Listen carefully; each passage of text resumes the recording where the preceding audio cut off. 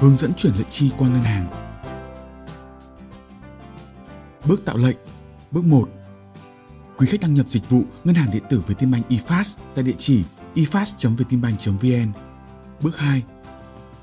Quý khách chọn dịch vụ chuyển tiền, chọn lệnh chi.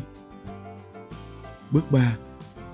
Trên màn hình nhập thông tin, chọn một tài khoản thanh toán từ danh sách tài khoản thả xuống, số dư khả dụng của tài khoản tự động hiển thị. Nhập thông tin thụ hưởng. Nhập số tài khoản, có thể chọn từ danh bạ thụ hưởng có sẵn. Nhập tên chủ tài khoản. Nhập tên ngân hàng. Nhập số tiền giao dịch cần chuyển. Nhập nội dung giao dịch. Nội dung này sẽ hiển thị trên sao kê của tài khoản người nhận và sao kê ngân hàng của quý khách.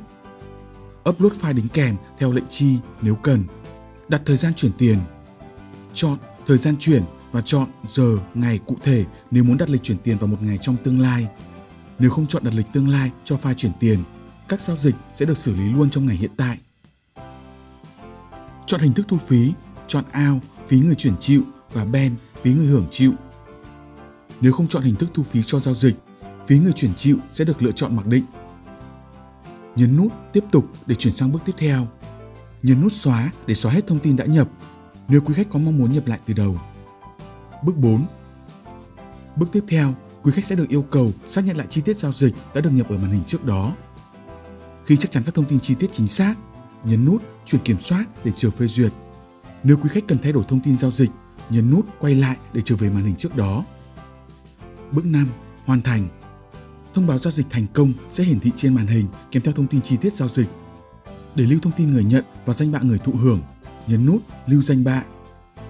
Trường hợp quý khách muốn tiếp tục thực hiện một giao dịch lệnh chi khác, nhấn nút tạo giao dịch mới.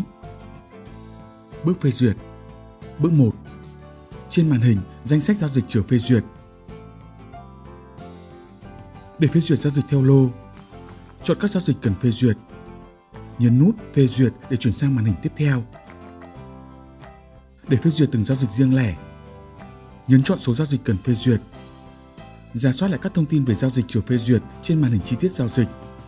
Nhấn nút phê duyệt để chuyển sang màn hình tiếp theo. Bước 2. Trên màn hình xác thực, nhập mật khẩu KeyPass với banh OTP. Nhấn nút chấp nhận để chuyển sang màn hình tiếp theo. Nhấn nút quay lại để trở về màn hình trước đó. Bước 3. Hoàn thành. Thông báo phê duyệt giao dịch thành công sẽ hiển thị trên màn hình. Nhấn nút quay lại về danh sách giao dịch chưa phê duyệt.